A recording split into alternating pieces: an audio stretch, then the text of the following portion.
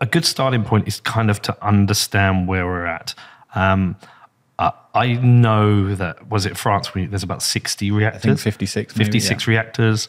We know in the UK, I think there's about three. I don't. What's the size of the fleet here in the US? 92. 92. I like the fact they call it a fleet. We've heard a lot about uh, the difficulty in trying to get new nuclear plants uh, commissioned and also built. It, it takes a long time. What impact has that had in terms of the current fleet? Uh, is it aging to the point that some of these need decommissioning? What, what's the current status of the fleet? So, reactors in the United States were originally licensed for 40 years. And then all of them, uh, almost all of them, have been extended to 60 years. And some of them, um, and more and more, will be extended out to 80 years. So we're going to operate the fleet here for the most part out to 80 years.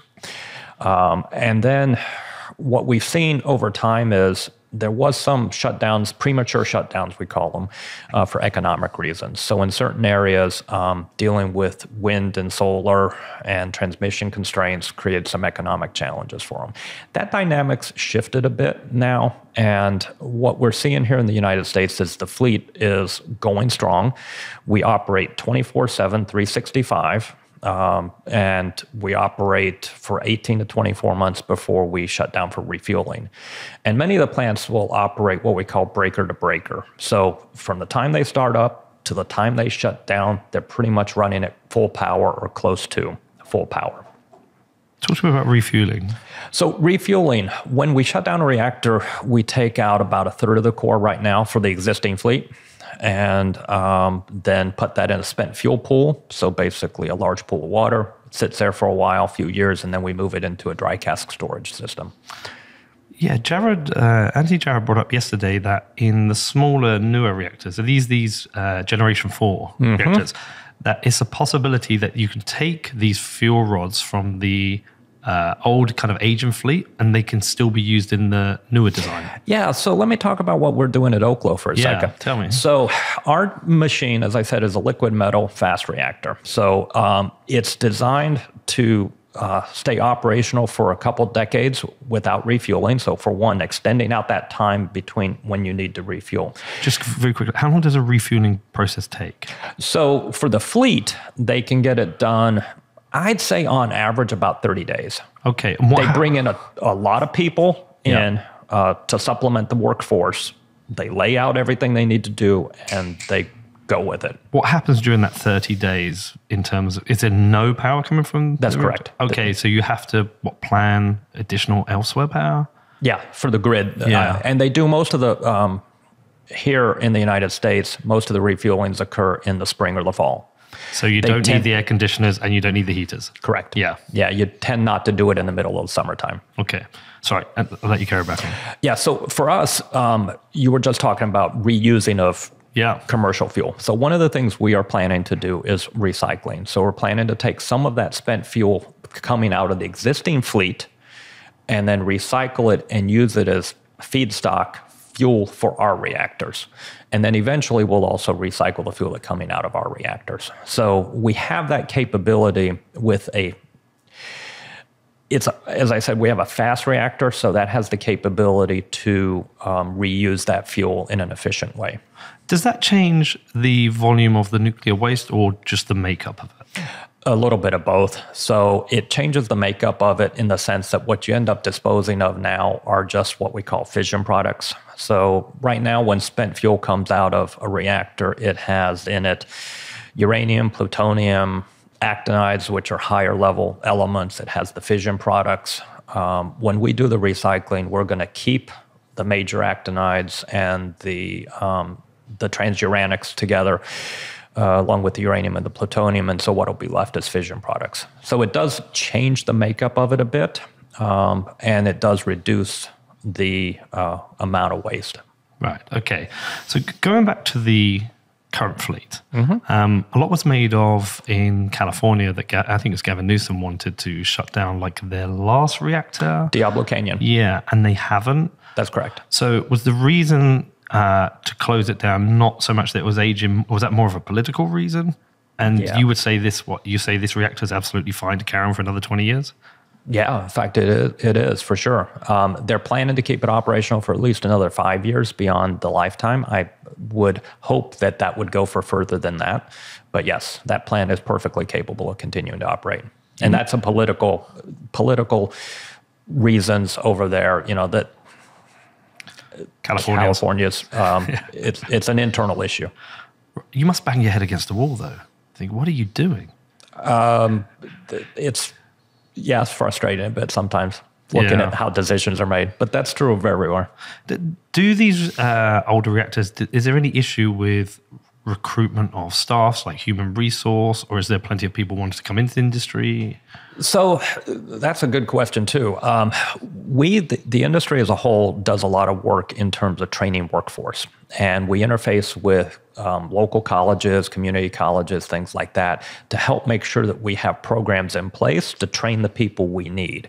Now, as we go forward and we build out more and more reactors in the United States, which I certainly hope we will do, um, and expect that we will do, workforce is going to be an issue. We're going to need to get more people trained up to operate the reactors.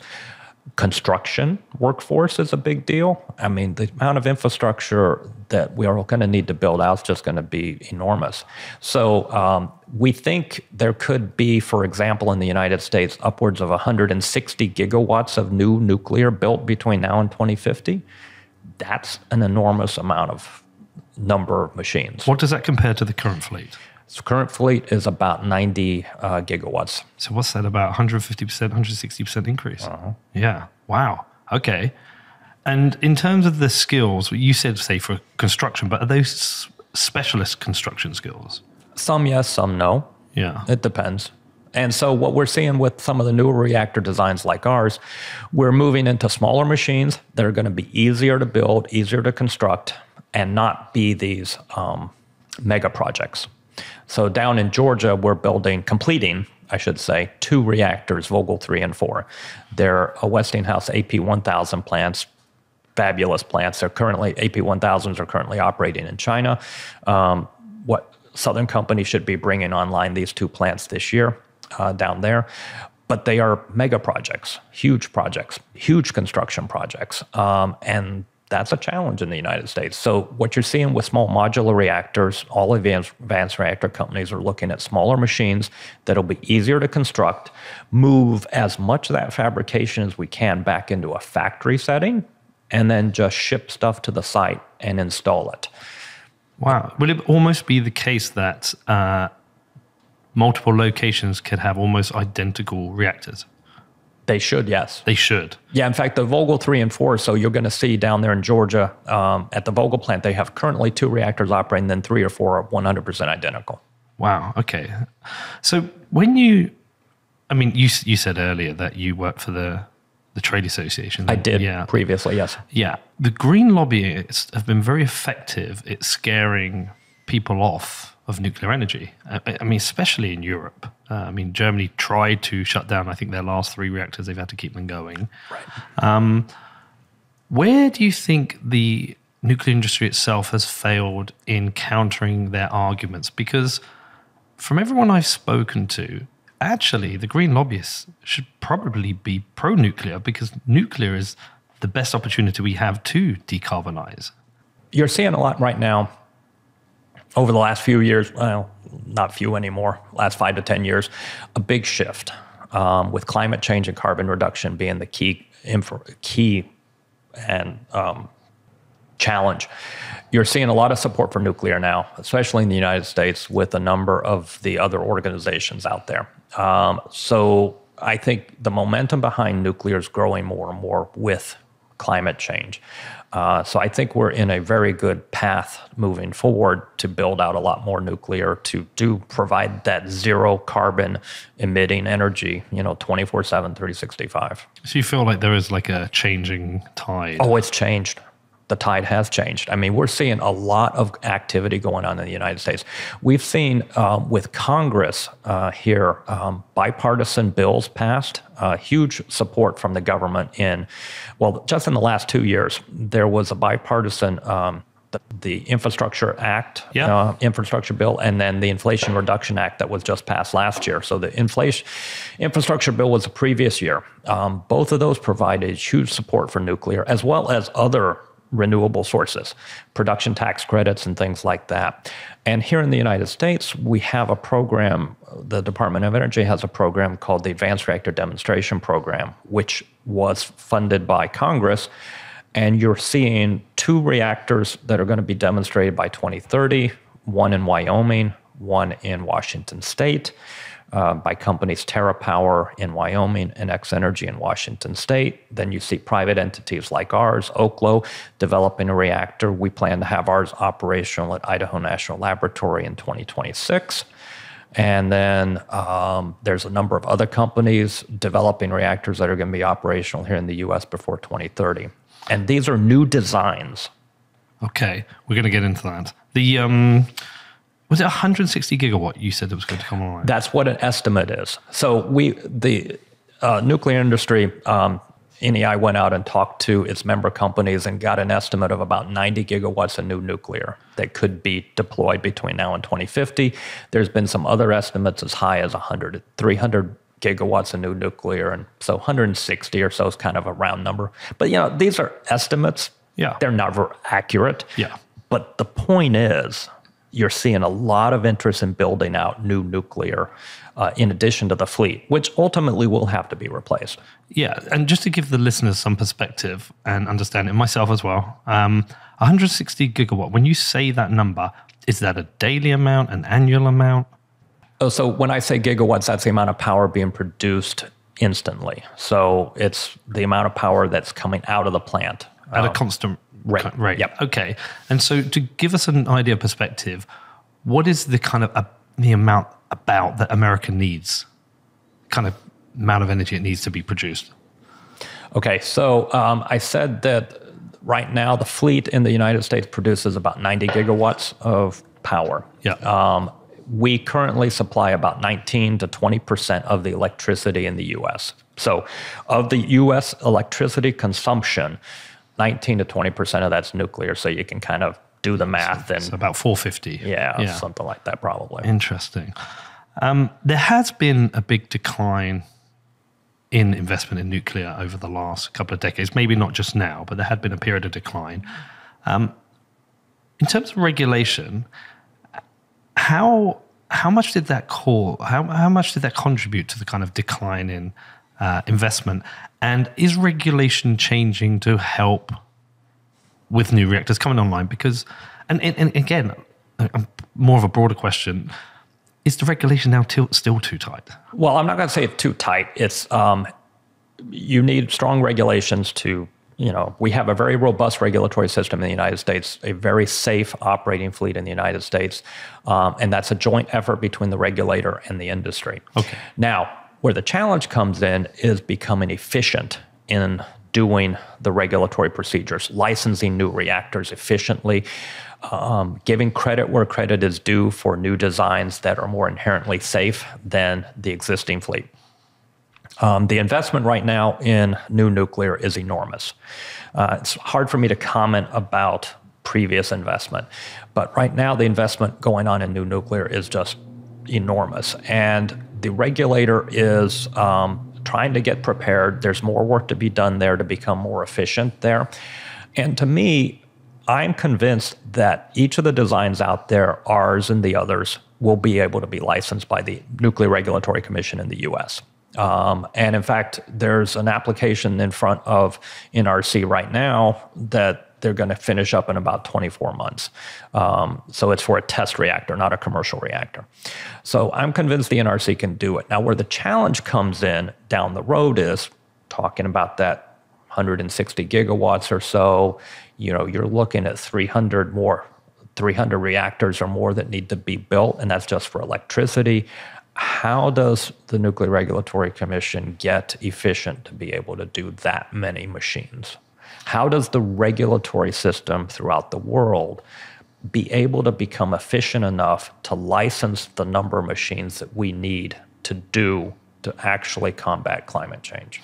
Yeah. So, what are the parts of the regulatory system that perhaps slow things down? Is it finding locations? Is it the what what would slow things? You say it has to kind of like you're almost saying it has to modernize. Uh, yeah, yeah. Um, so right now, reviews take 24 to 36 months, depending on the um, type of design that's out there.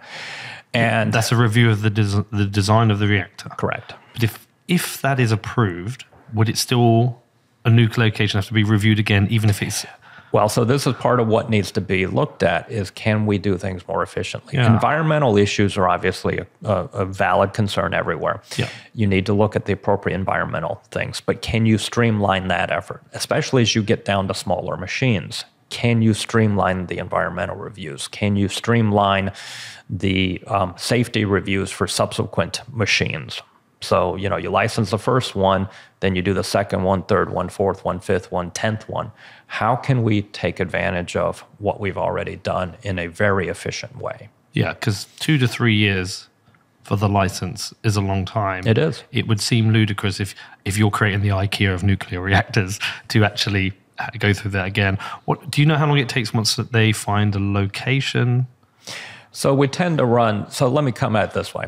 Um, if we look at the Advanced Reactor Demonstration Program that DOE is putting, and this is a very efficient program.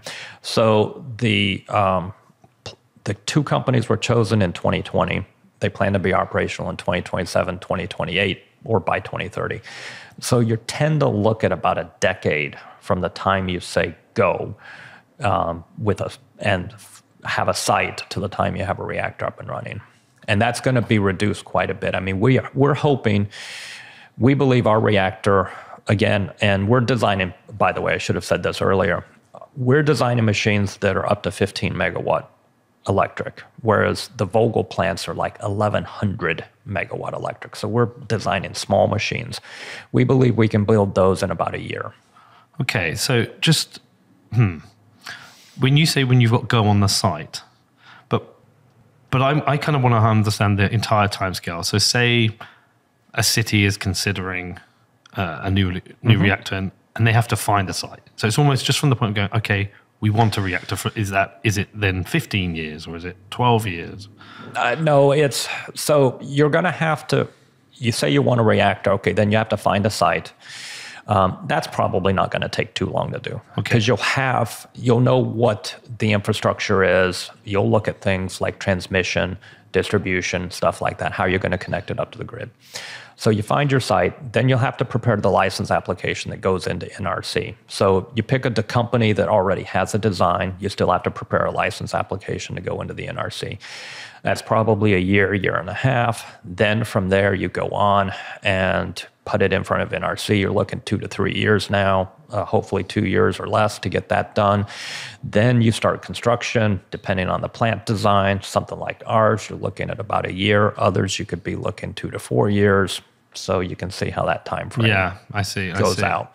Yeah. Um, it would, I guess there would be a, a- different constraint on you if they streamlined everything and they could uh, move to the point where they give you the nod and a reactor can be up in a year. If you suddenly got an order yourself for like 10 to 15 of them, how do you as a company resource up? There would, there would be constraints on the company themselves. Well, of course, but it's not like you're going to have this instantaneously. You're going to see it coming. So Yeah. we're we're engaged with multiple potential customers out there and looking at what their needs are and understanding it. So, but to your point, we all have to scale up Yeah. as necessary to be able to deliver the machines. And that's going to be that's a challenge for the industry as a whole.